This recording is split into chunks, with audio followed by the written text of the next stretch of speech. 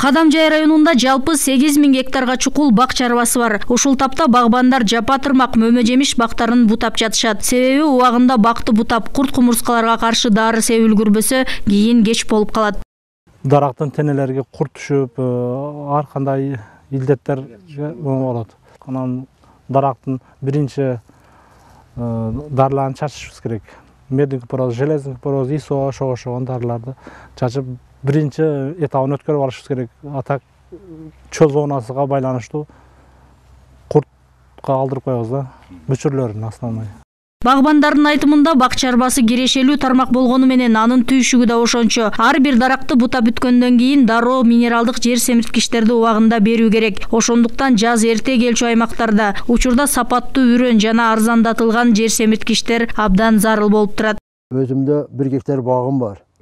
Бир гектар бир гектар багыма где то төрт жүз килограмм жер семчик кетет анан амофоз баягы нитромофоз дегендер бар ошолор килограммы кырк сомдон болуп атат баягы диамофоз дегендер бар килограммы алтымыштан болуп атат ошентип көйгөй азыр дыйкан ошол жер семчиктерди сатып алганга мүмкүнчүлүгү болбой атат азыркы мезгилде бериле турган дары ушул амофоздун килограммы алтымыш сомго чейин чыгып кичине кыйынчылык туудуруп атат ошол боюнча биз администрацияга агрардык департамент кыргыз республикасынын өкмөт министрлер кабинетине чейин маселени жеткиргенбиз өкүлчүлүк аркылуу маселелер чечилүү үстүндө турат эми кудай кааласа башка республикалар менен сүйлөшүп ал кошуна республикалар менен сүйлөшүп алып келинсе ыйла жардам болот деген үмүттөбүз марказ айыл өкмөтү сугат суу тартыш аймактардын катарында быйыл ирригация маселесин чечүү үчүн министрлер кабинети тарабынан олуттуу көңүл бурулуп кадамжай районундагы кожо кайыр жана лаган ички чарбалык каналына эки жүз миллион сом бөлүнүп толук оңдоп түзөөдөн өтүп жатат. Андан сырткары аймакта тамчылатып сугарууну жайылтуу колго алынган. Общий жыйырма үч гектар жер он үч гектары пока иштешип атат иштелип атат он гектары мына куюуда кааласа жыйырма экинчи жылга бул энди түшүнгөн адамдар болсо кызыккан адамдар болсо бул капильныйдын жардамы немеси экономичный жакшы дыйкандардын салымы ушул жерде ар бир жердин гектарыга карап туруп салымы болот жетимиш миңден жүз жүз элүү миңге чейин багбандын кызматы бул жерде водорезервуарды куруш керек ограждениясын кылыш керек и көчөттөрдү эгиш керек. Проондон келген мыналар шлангдардын өздөрү алып келип установканы кылып берип сууду чыгарып жандырып берип кетишет.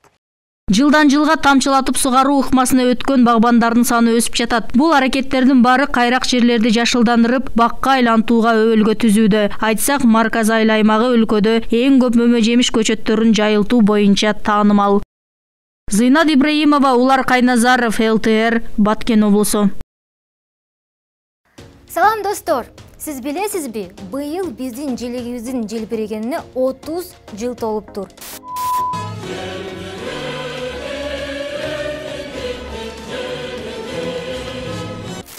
эмесе баардыгыңыздарды желегибиздин отуз жашы менен куттуктайм мына ушул самалдыктын урматына лтр телеканалы мектеп окуучулары арасында сынак жарыялайт сынакка катышуу өтө жөнөкөй ал үчүн сиз биздин тобубузду даңазалап ыр жазасыз. Болгону ушул. Ырыңызды көркөм окуп видеого тартасыз да биздин телеграм чатка жөнөтөсүз. Эң мыкты деп табылган алдыңкы үч орунга бизде сыйлыктар бар. Сиздин сыйлык азырынча сыр болуп турсун. Чукулдаганда сөзсүз айтам. Кабыл алуу жыйырма бешинчи февралга чейин жүрөт. Сынакка катышып үлгүрүңүздөр. Видеону туура тартыңыз. Камераңыздын жогорку сапатын тандаңыз ал эми телеграм чатка жөнөтүүдө галереяңыздан тартылган видеону видео бөлүкчөсү эмес файл бөлүкчөсүн басып жөнөтсөңүз сапатын жоготпойт. И баса сиз жөнөткөн ырлар биздин көгүлтүр экрандан көрсөтүлүп турарын унутпаңыз.